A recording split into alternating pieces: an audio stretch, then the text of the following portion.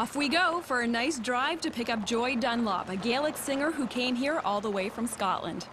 Give me a sense of just how important Celtic music is to you. Well, I guess it was my own heritage. My ancestors came from Scotland, and certainly the music came over with them, and I heard it in my parents' house growing up, and uh, I just carried on the tradition.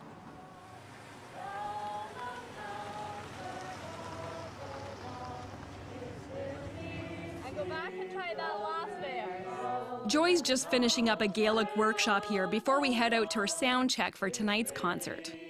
Well, tonight's going to be one of their more Gaelic shows. Um, there's going to be a lot of Gaelic singing, and there's going to be some traditional fiddle playing, and there's three of us that are over from Scotland singing, there's some from here. So it's going to be a really kind of international mix, but a Gaelic mix, which is nice to see.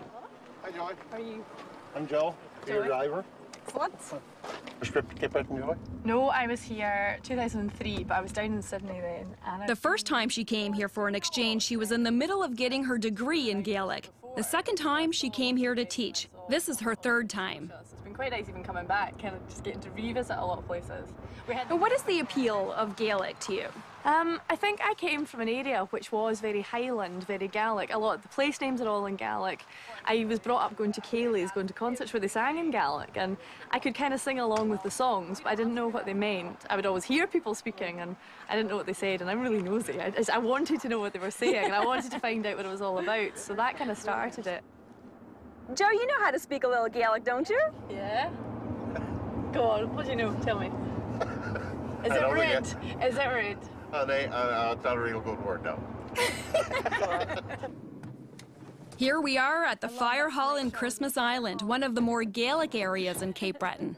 It was always promoted as being a very, very Gaelic area where there was lots of language spoken, a lot of culture, and a very strong link between the two places. So it was interesting coming over to see what it really was like.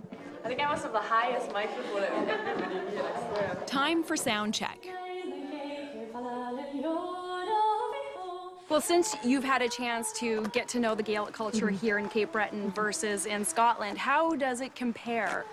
Um, I think we've still got a lot more speakers. Um, we've got over 60,000. I think they're looking at under 1,000 here. We've really, in the last sort of 30 years, pushed to get Gaelic immersion education.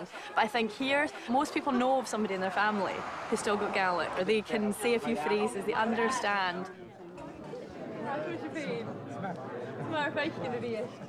With the show about to start, there are probably more Gaelic speakers in this room than anywhere else on the island right now.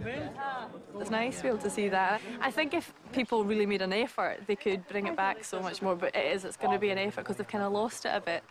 The Celtic Colours drivers are making an effort. 10% of the money they bring in from selling CDs goes to the Drivers Association, who then help emerging Cape Breton musicians and young potential Gaelic speakers. Well, part of the, the Celtic uh, culture is the language, and a lot of the younger people today don't know the language, and it gives a, a, young person a chance to maybe get some classes in Gaelic and maybe start them off into the Gaelic language. Really is I would like to introduce the Milling Singers. At the top of tonight's show, everyone here will get to experience a special Gaelic treat. It's called a milling frolic. In Gaelic, it's called a luadh. This song it goes back to World War One.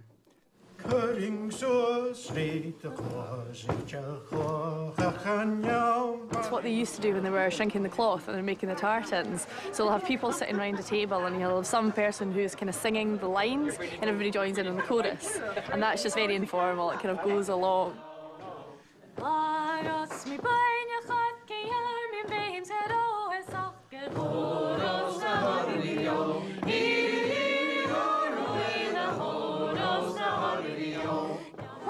Singing about when you were leading the milling? It's actually um, a bit of a sad song. It was a man who was out on his own and he was cutting corn. I don't know what he did, he sort of slipped and he took a chunk out of his knee with the scythe.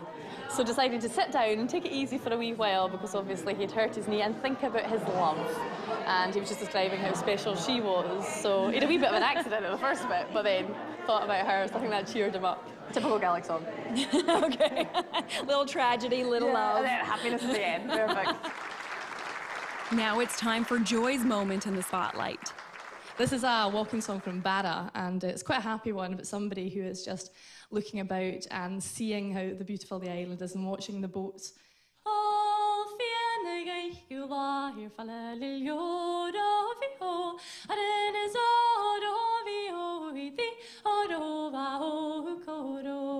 All I'm going to try and do a mixture of songs, but one of my personal favourites is the puirt à beul. I'm going to finish off now with a wee bit of puirt à beul, Gaelic mouth music.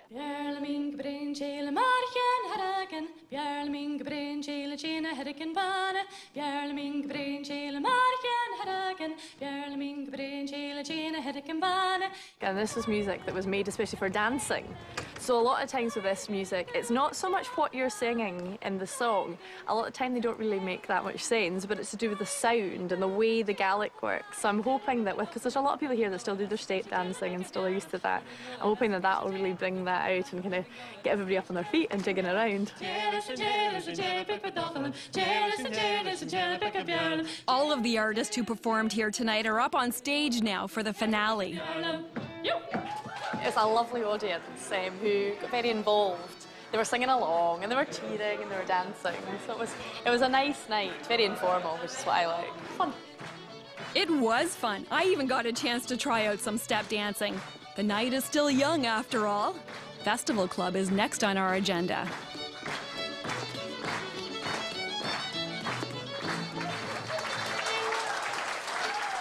Are you ready for Festival Club, girls? It's about time. Let's go.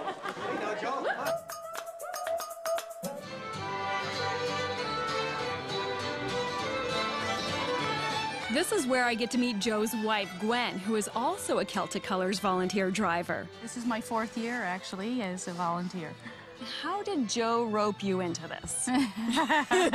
Talking about all the good shows that he'd seen meeting all the people. And some of these people are famous and in their part of the world probably have to travel with a security contingent. And here they hop in your van like everybody else and off you go to your concert and, you know, you get to know them on a one-to-one basis and, and it's really interesting.